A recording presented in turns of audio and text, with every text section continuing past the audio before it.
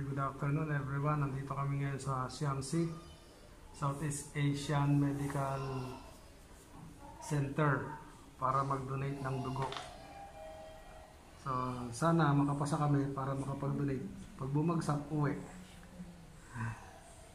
Tulong lang, tulong sa kapwa. So, may mga kasama ako. Sila.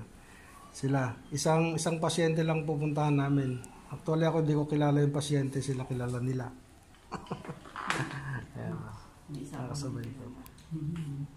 Isang pasyente lang yung bibigyan namin ng dugo kung sakasakali. Mahalagang salamat. Okay. Sana po makapasa tayo. Ayan. Mm, sana po pumasa kami. Tayo lahat. Para makatulong tayo. Kapwa. Gintong buhay. Ayan. Hanggang likod pala.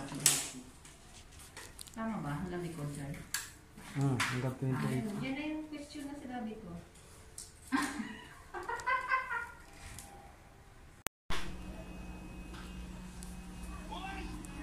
Okay. Ah, blood uh, donor tayo ngayon. Sagip buhay. So sana matapos yung ano, yung ah, required na number of bugs na kailangan ng pasyente. So we're praying na mayroon pang dumating para okay na. So ito ngayon, yung goal niya ko ngayon sa ano, sa pagdeliver keep on praying. Sana po mapanood itong uh, short clip na to. Thank you. God bless all.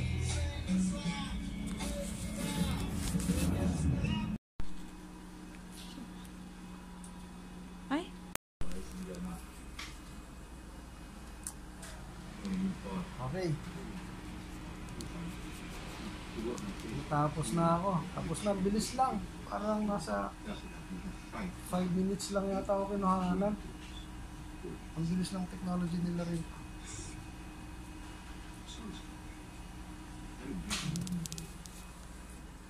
Ayan kabats ko. Isa lang yung dodonate namin.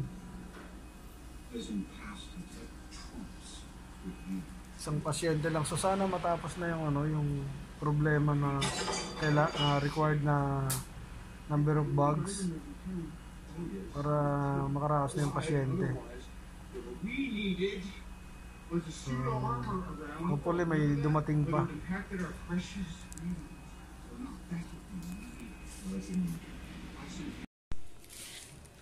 Alright.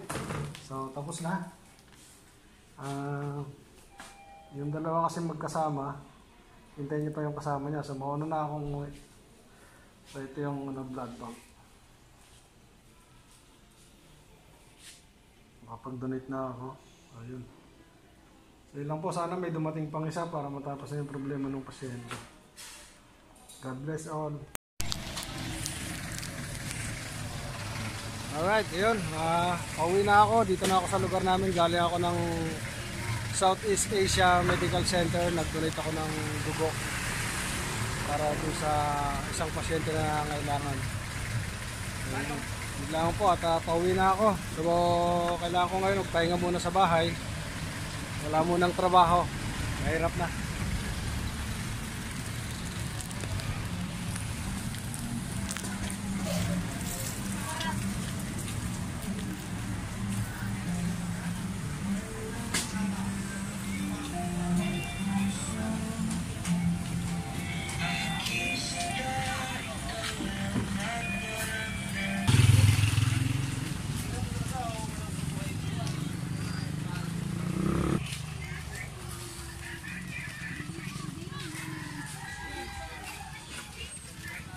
Ito ang lugar ko rito.